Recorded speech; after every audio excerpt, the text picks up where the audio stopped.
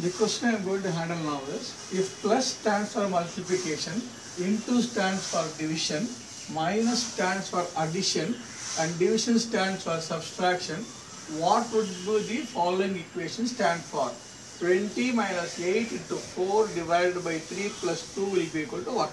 Options are 41, 19, 16 and 18. So here in this question what is happening the symbols are all changing. See the plus division normally we understand as a plus division but it is being converted into into. Similarly the into division that is a multiplication symbol stands for division and minus symbol stands for addition and division symbol stands for subtraction. The symbols are all changing but the rules of multiplication will always remain the same. Just change it, don't do it here itself.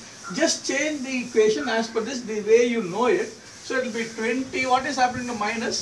See minus stands for addition. So plus 8, plus 8 and then into stands for division divided by 4 divided by 4 and division stands for subtraction. Minus 3 and plus stands for multiplication will be equal to 1 actually this is the question. So here the BODMAS rule is applicable.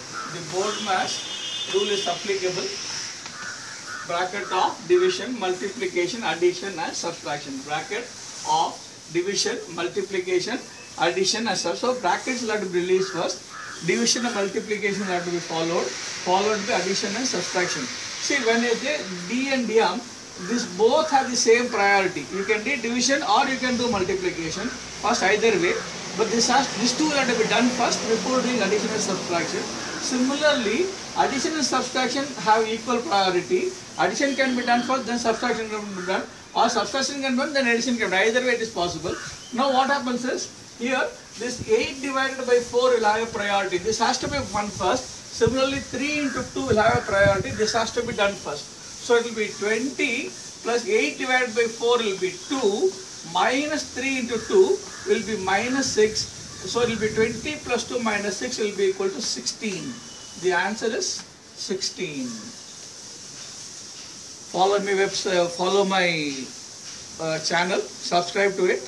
You will be getting lots of aptitude questions. It will be easier for you to clear your active exams in future. Wish you all the best